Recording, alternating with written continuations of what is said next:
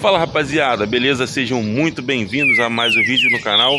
Rapaziada, hoje acordei um pouquinho cedo para mostrar para vocês um trinca-ferro que eu tinha passado na minha casa semana passada.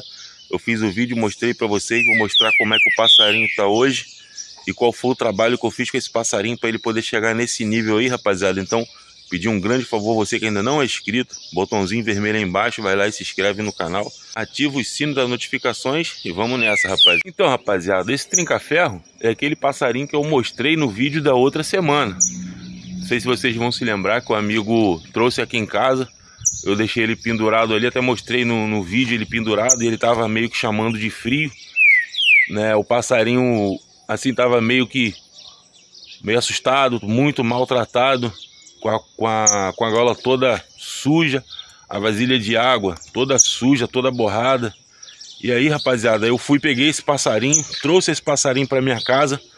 É, no primeiro dia esse passarinho ele não cantou, mas no segundo dia ele já deu uns cantos, amanheceu cantando na capa. Porém, rapaziada, é um passarinho novo, entendeu? É um passarinho que tem mais ou menos aí um ano nessa gaiola. Ou seja, é um passarinho que a gente tem que ter um cuidado todo especial para esse passarinho ele não sentir muito a, a localidade que ele está. Aqui na minha casa eu não tinha trinca-ferro, agora eu tô com dois, tem um mais novo. E tem esse aqui, mas meus vizinhos tudo tem trinca-ferro. E os trinca-ferro tudo são trinca-ferro ignorante para cantar, tudo passarinho que canta bem alto. Ou seja, casa muito agarradinha, passarinho pode sentir. Mas o que acontece, rapaziada? Eu fui deixando esse passarinho com, com espaço legal, com espaço maneiro. Muitas vezes deixava ele dois dias na capa dentro de casa. No terceiro dia botava ele para fora. Às vezes deixava dois dias, três dias dentro de casa na capa, no terceiro dia botava para fora. Aí, rapaziada, esse passarinho veio, ele veio levantando cada dia mais. E aconteceu de ontem, esse passarinho amanhecer cantando e cantando muito, cantando e cantando muito. Rapaziada, passarinho novo. Como vocês podem ver no vídeo, agora ele tá cantando na minha mão aqui. Mas ó, vou falar uma coisa para vocês. Já vi passarinho novo aprontar de uma hora para outra. Mas igual esse aqui, é a primeira vez, galera. Eu tive até um passarinho uns tempos atrás aí que aprontou. Em uma semana ele começou, começou, começou e aprontou. Mas esse aqui foi assim um, uma surpresa muito grande que eu tive. Talvez vocês podem até me perguntar, mas e aí o Anderson? Qual é o, o qual é o segredo? Qual é o mistério para o passarinho aprontar? Não tem segredo, não tem mistério.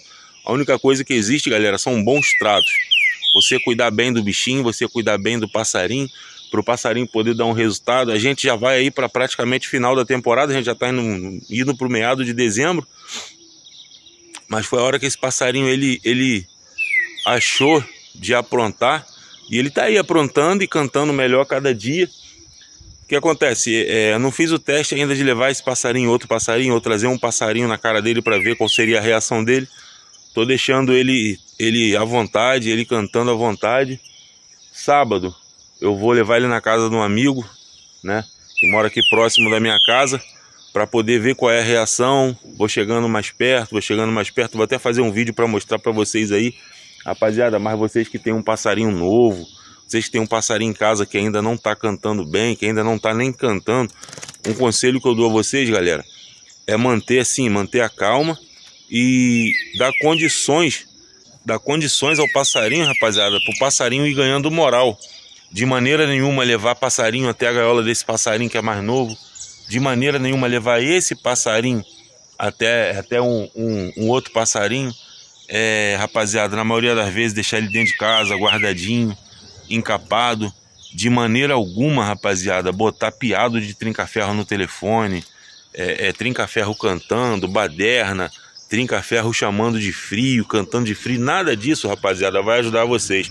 O que vai ajudar vocês é deixar esse passarinho à vontade, é deixar ele ir devagarinho, à vontade, sozinho, sem forçar, tratando bem, boa comida, sempre água, sempre fruta. O passarinho gosta disso e o passarinho vai aprontando. Rapaziada, agradecer a vocês que ficaram até o final do vídeo aí.